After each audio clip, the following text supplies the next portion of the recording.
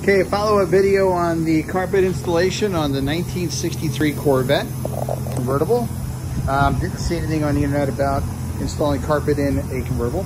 So uh, just kind of give you a, an overall view rundown. It actually came out really well. Everything lines up nice. The carpet kit is awesome. Um, the, the welts are really nice. They're in the right place. See that over there? There is the uh, kick panel I got covered. There's another kick panel right there that I got covered. I got to install. Floorboards are in. Everything's all up there, nice and tucked in. A little bit of dirt right there. Um, but the, you can see how the welts and seams and everything are good. Um, now I didn't put any Dynamat down because this already has foam backing. So I didn't think I needed to do any Dynamat. Um, but I just wanted to discuss the order of the way that they get glued in because I didn't see anything on the internet that pertained to that. So I just had to figure it out as I went. But so the order of installation, number one, the back piece. Okay, you put that in. Number two, the divider piece, this piece right here, right? Okay, number three is uh, the lower wheelhouse is this cover the uh, the body right here, and you want these seams right here to when you when you install them, you want the seam to follow the contour of the body, and you can see on both sides how that's done. So you just stretch that, pull that, make sure it fits all all nice, and you have to get it right front to rear, otherwise you'll have bare spots where your carpet's not covering. So you put that in, then you put this in. This is this is. Uh, piece that you put in after that, and you'll see this in the kit, it's got a slit opening for the trim panel that goes for the top. That's two screws right here. So you install those both sides, okay? Then you do the backing. This is the finish on the backing. They're just two little pieces of carpet that go all the way, all the way up around on that side too, okay? So once you got this done, that done, that or uh, this done and all that, then you put in your diff cover carpet, okay? Then you do your top piece. You put lay that in, glue that in over your diff cover, and all falls down. Then you can do your tool compartment cover or storage compartment cover, okay?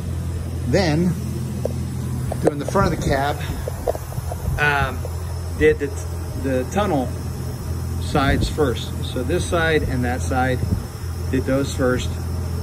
And then did the outside of the tunnel over there after that. So you get those two done, and, and here it is on this side. Then you can drop your main carpet in for your driving compartment. And make sure you get them all lined up up there. Start from the front and pull it down, glue it, and then pull it back. Um, pre-fit it, make sure you got all good seams and everything. So you're your welts are nice and covered and are covering up all the all the stuff that they're supposed to cover.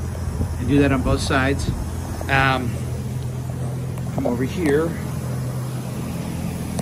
Got a couple alignment dowels for the, uh, can't really see it, a couple alignment uh, pins for the holes for the gas pedal. And then that trim actually lines up pretty well between the floor carpet and the, uh, the, the, the wear guard for the gas pedal. So that actually works out pretty well. And then you do your side, your kick panels, you can recover those. So there's, you do the kick panels. And, so I'm gonna let that sit overnight and dry up really good before I put the trim and everything back in.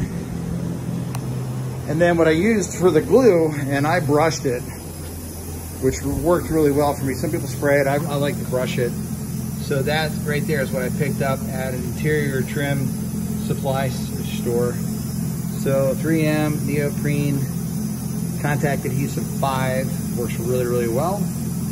And, uh, you know, all you do is got to get take your time, uh, glue everything down correctly, and then uh, just start fitting it. But pre-fit it first. Make sure you got a good fit for every piece that you put in.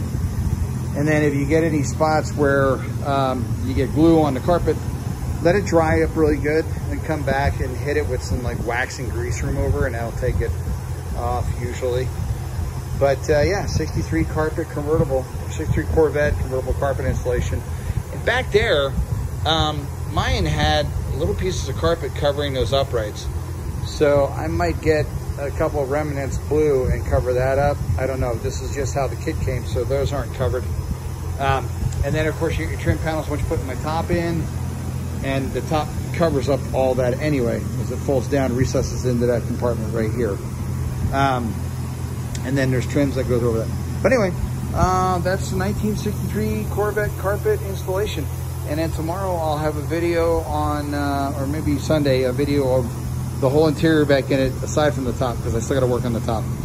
Uh, but the seats, console, the, the armrest, uh, everything I like that. Anyway, peace out, people.